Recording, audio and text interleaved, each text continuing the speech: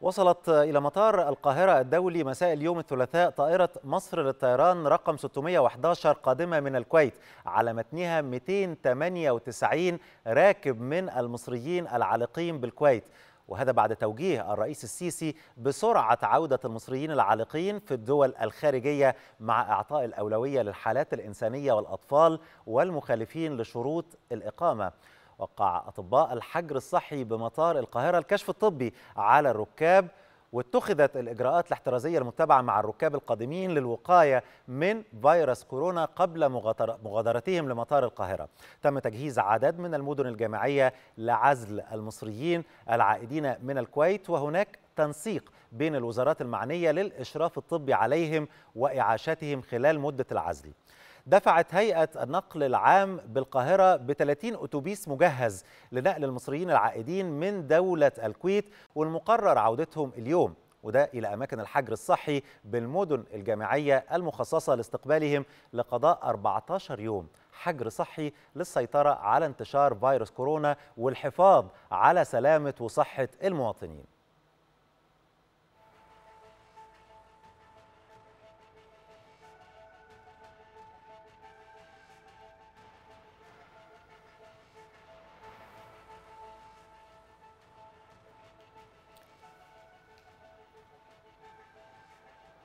طبعا ما نشاهده الآن هذه هي الصور لعودة المصريين العالقين. الدولة تهتم كثيرا بفكرة عودة المصريين العالقين مرة أخرى إلى أرضهم وإلى وطنهم بتوجيهات من الرئيس السيسي للحكومة التي لم تألو جهدا في إرسال الطائرات إلى المصريين إلى كل الدول التي يريد المصريون العودة مرة أخرى منها إلى أرضهم إلى وطنهم وهذا هو الجهد الذي تبذله الدولة الآن بتوجيهات رئاسية لعودة المصريين العالقين وإدخالهم إلى الحجر الصحي واتخاذ كل الإجراءات الاحترازية لضمان أمنهم وسلامتهم.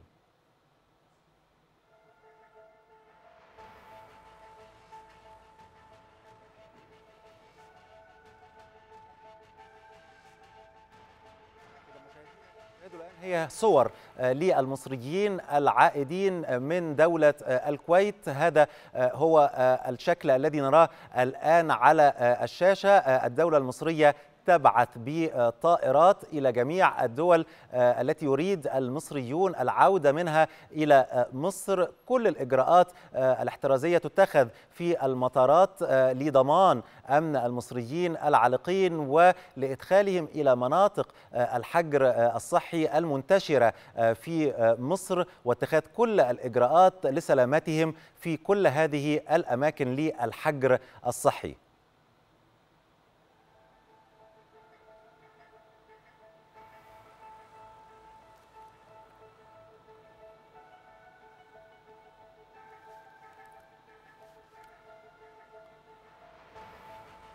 طبعا كل ما نراه الآن هو اهتمام الدولة المصرية بكل مصري يريد العودة إلى أرض مصر مرة أخرى يعني بخلاف كل ما قيل من شائعات ودسائس عن وجود خلافات في هذا الموضوع وأنه الدولة المصرية لم تنتبه إلى المصريين الذين يريدون العودة مرة أخرى إلى مصر. ولكن ما نراه الآن هو عكس ذلك تماما هذه التوجيهات والتي قال الرئيس السيسي دائما أنه المواطن المصري هو الأولوية الأولى له وللدولة والحكومة المصرية لا يوجد أي مصري يريد العودة إلى أرض الوطن ولا يستطيع ذلك. ترسل مصر بالطائرات إلى كل الدول التي يريد المصريون العودة منها إلى أرضهم مرة أخرى. أيضا كل الإجراءات تتخذ في هذا الشأن بسرعة شديدة طبقا لإمكانيات الدولة المصرية. شركة مصر للطيران ترسل بكل هذه الطائرات إلى جميع أنحاء العالم لعودة المصريين مرة أخرى من البلاد التي كانوا يقيمون فيها إلى مصر. كل الأماكن مجهزة للحجر الصحي لهؤلاء المصريين. وكما قالت الدولة ورئاسة الوزراء أنه الحكومة المصرية ستتحمل كل تكاليف من يريد العودة ويعني ينزل في نزل الشباب المختلفة. أما من يريد أن يقيم في فندق فهو يتحمل هذه التكلفة ولكن في كل الأحوال الكل الفنادق ونزل الشباب وكل أماكن الحجر الصحي تخضع لنفس الإجراءات الاحترازية التي تستهدف ضمان أمن وصحة المصريين. إذا الدولة المصرية هي تقف جنب المواطن المصري في الداخل وأيضا في الخارج كما نرى الآن على الشاشة.